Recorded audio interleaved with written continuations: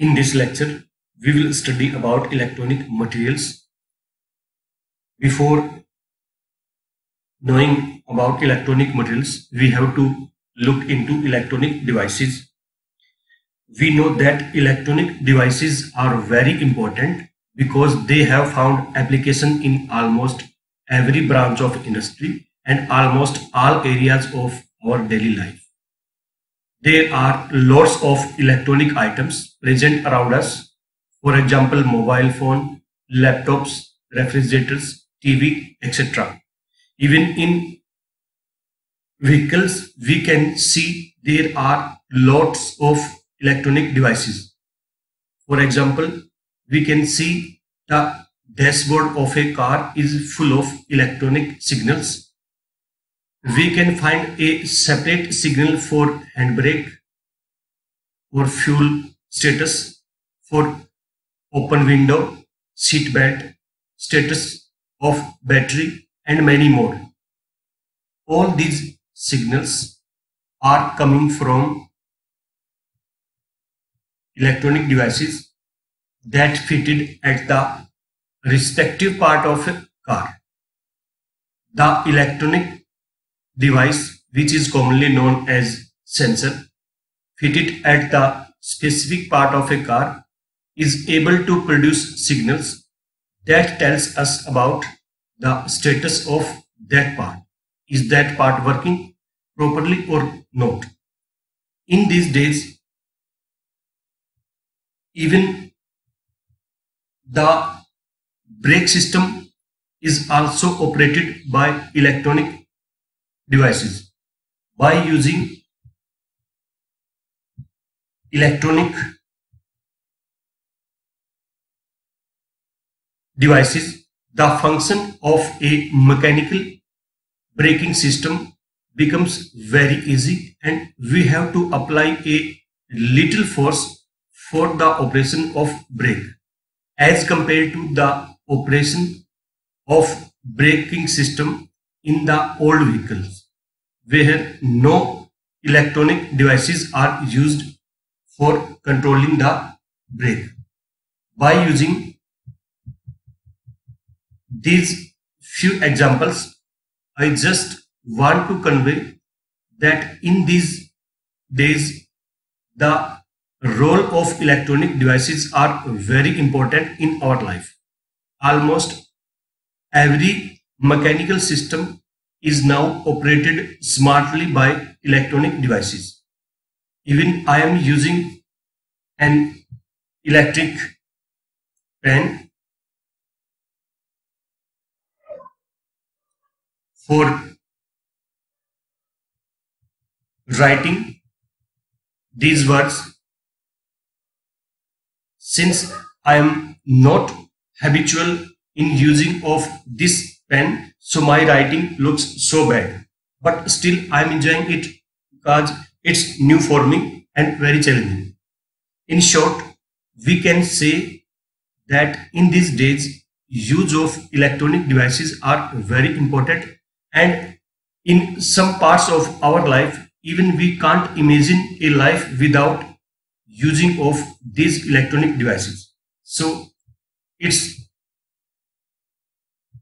very important to learn about electronic devices and for improving the performance of these electronic devices we have to study about the materials by which these electronic devices are made of.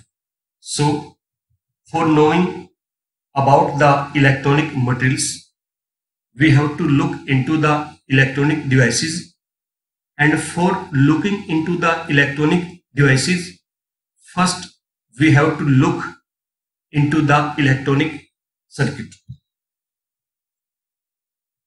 When we think about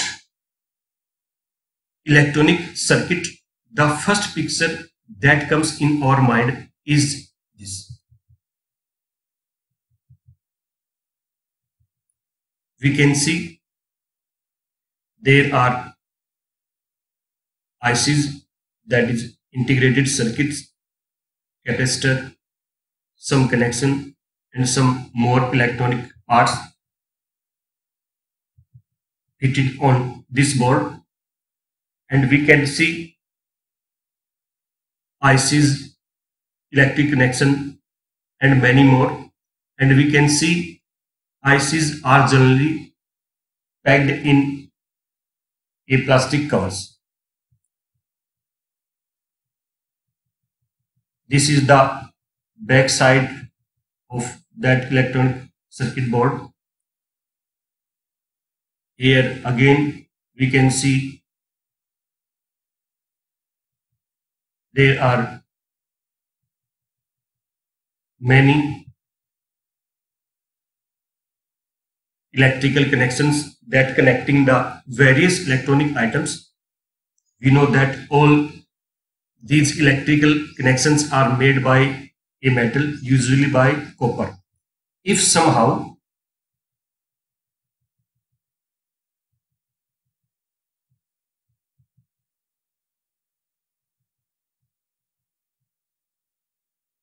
we are able in opening of these electronic circuit or ICs, we can find that these ICs are made of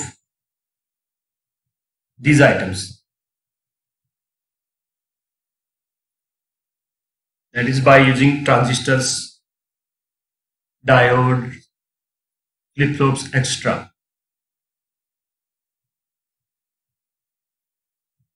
We all aware of it that these devices like transistors, diodes, etc. are made by semiconductors. So from here we can conclude that the electronic devices are made of semiconductors. There are other materials that used in these devices, but they are only for assisting these semiconducting devices. So now we can say that electronic materials means semiconducting materials or simply semiconductors. Therefore, study of electronic materials means study of the semiconductors. Mostly study of the electronic properties of the semiconductors.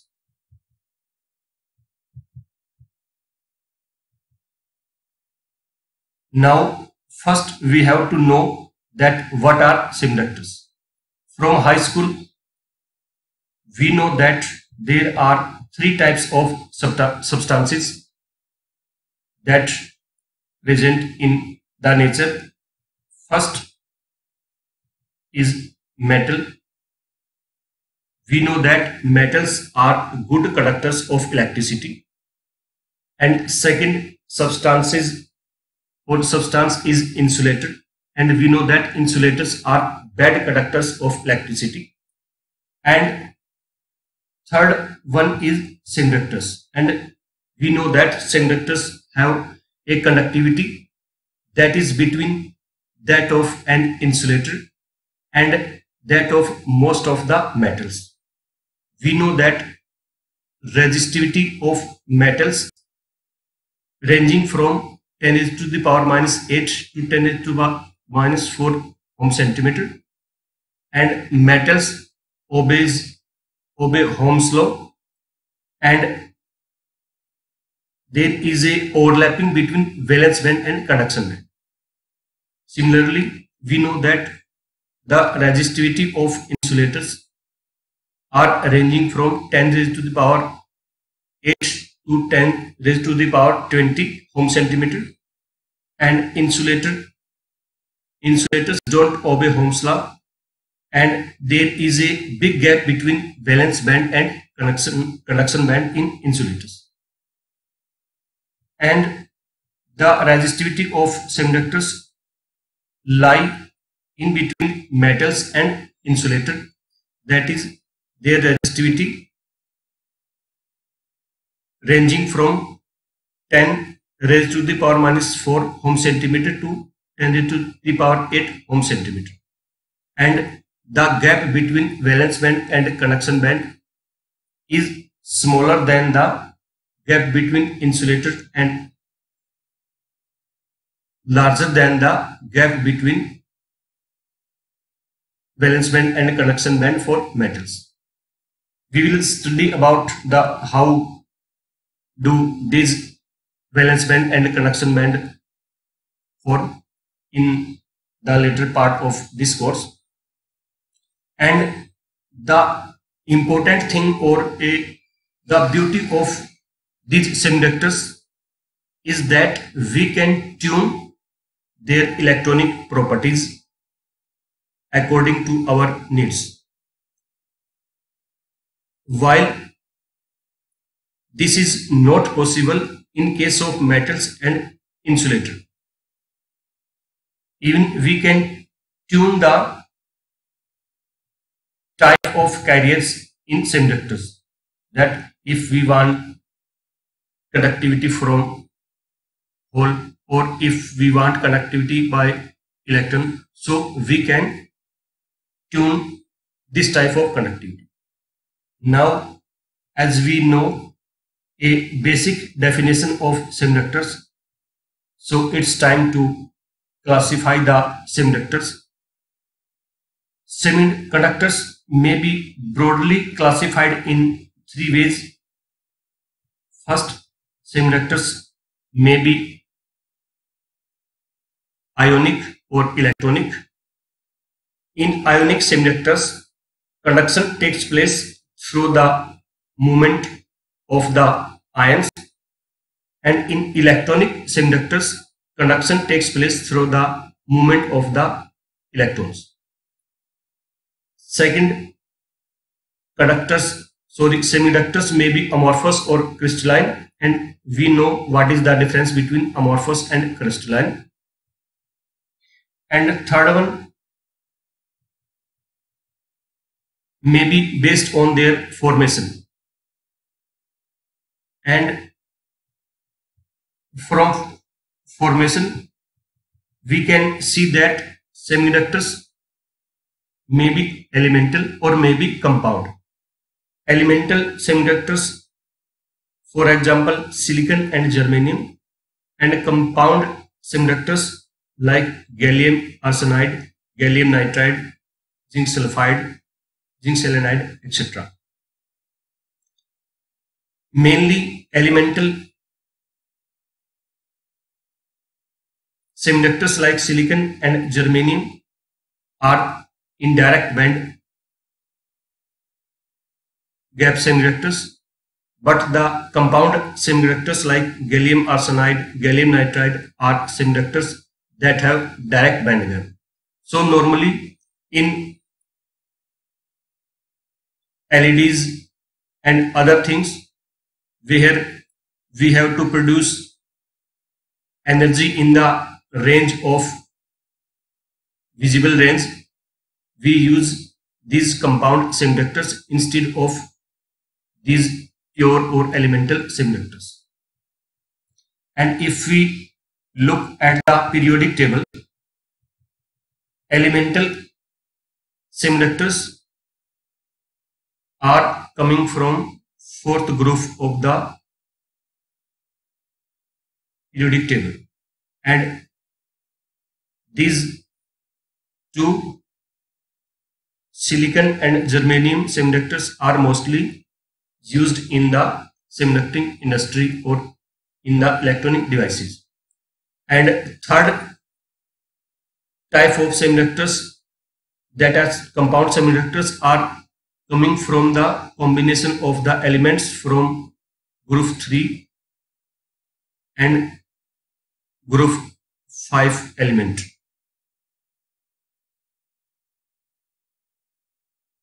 For example, gallium arsenide and gallium nitride. These compound semiconductors are coming from the combination of group 3 element elements and group 5 elements. There are other compound elements semiconductor also that can be produced by using group second and group 6 elements. For example, zinc sulfide and etc. We can also produce some compound semiconductors using group 4 elements itself. For example, silicon carbide and others. So, from this lecture, we have learned that according to their formation, semiconductors are mainly of two types that are elemental semiconductors and compound semiconductors. Elemental semiconductors are like silicon and germanium, mostly coming from fourth group of the electronic periodic table. And compound semiconductors are coming from the combination of the elements of group 3 and 5 for example gallium arsenide gallium nitride indium phosphorus and other compound semiconductors are coming from the combination of group second and group sixth elements. For example ZNS and other compound semiconductors are coming from group combination of group fourth elements itself just like silicon silicon carbide and etc so in next few lectures first we will look at the structure of these elemental and compound semiconductors and then we will look other properties of these semiconductors. Thank you.